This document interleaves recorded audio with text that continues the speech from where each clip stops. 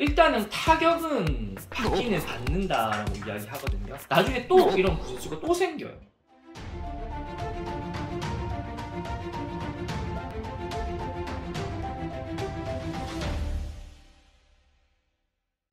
안녕하세요.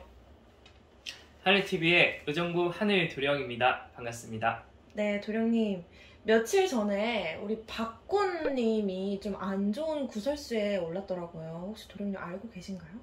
아니요, 박군님은 모르고 그 김소노님은 뭐 구설수 터진 거는 듣기는 들었어요. 아, 박군님은 왜요?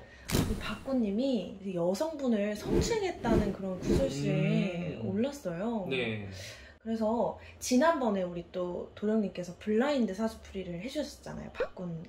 아, 그게 몇 월 달에 했었죠? 그게 5월 달에 한창 아, 이제 5월 달에? 강철 부대 네. 이슈가 됐을 때 했었는데 정말 도령님이 언급해 주신 대로 이런 네. 일이 일어났더라고요. 저 뭐라고 했는데요? 저 기억이 잘 안 나요. 도령님이 여자 문제를 조심해야 어, 된다라고 네. 하셨고 이 사생활이 수변 위로 드러나면 안 된다. 네. 그리고 가을에 이런 구설수를 굉장히 조심해야 된다. 아, 이렇게 딱 이야기를 이때 지금 해주셨어요. 가을쯤에 지금 사생활 문제가 좀 드러났네요. 네. 그리고 좀 이분은 여자를 좀 조심해야 돼요. 연애수나 여자에 있어가지고 무조건 필히 서른 살 때 구설수가 한번 돌 수가 있는 형국이에요. 자신의 사생활 같은 게 연애뿐만 아니라 수면 위로 드러나게 되면은 득보다는 실이 많은 사람이에요. 그리고 올해 이제 봄, 여름에 운기가 굉장히 좋아요. 근데 가을에 한번 살짝 좀 삐꺼, 삐끄덕 하는 운기가 있어요. 그러니까 요 가을에 좀 타이밍을 잘 조심해야 될 것 같다라는 생각이 많이 드네요.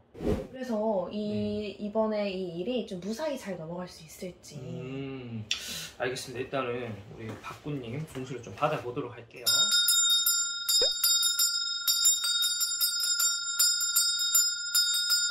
음, 일단은 타격은 받기는 받는다라고 이야기하거든요. 그러니까 이게 이미지의 타격이 아니라 지금 박군님이 사실상 올해 뭐 프로그램을 갑자기 여러 개 많이 하셨잖아요. 그런 것에 있어가지고 이제 추가되는 운기에 있어서 이제 조금 영향을 받는 거고 지금의 운기를 유지하기에는 큰 어려움 없다라고 이야기하시니까 불행 중 다행이다라고 이야기를 하시네요. 그렇죠. 일단은 신경 쓰이는 일들이 조금 있을 것이고 그래도 연말에는 어 그쵸 무탈이 진행이 된다라는 오방기도 정확히 뽑으셨고요. 그러니까 요게 사실상 우리 박구님이 한 번은 그때 제가 영상에도 말했다시피 30대 아마 그 여자 문제 때문에 구설이 한 번 무조건 돌 거라고 말씀을 드렸던 것 같아요. 그러니까 언제가 됐든 간에 한 번은 털고 넘어가야 되는 상황이었을 거예요. 그래서 이런 것들을 한번 또 털고 넘어- 넘어가야지만이 좀 더 이렇게 더 크게 도약할 수 있는 계기가 되는 거거든요. 그러니까 요때 어, 우리 박구님이 적극적으로 좀 잘 대처를 하셨으면 좋을 것 같아요. 이게 운영 중에 뭐 구설수가 사라지겠지 하고 가면요. 나중에 또 이런 구설수가 또 생겨요. 음, 그러니까 요때 적극적으로 대처할 때 확실하게 소득자 입장에서 어, 법적으로 잘 대처를 하셔가지고 너무 이렇게 진행을 하시다 보면은 올해 연말에는 그래도 이제 박구님이 더 이상 뭐 프로그램을 어, 추가를 한다거나 그런 운기는 아마 좀 접어들 거예요. 하고 있던 것들을 조금씩 이제 접으면서 실속적인 프로그램 몇 개만 남기고 다 접는 형태긴 하거든요.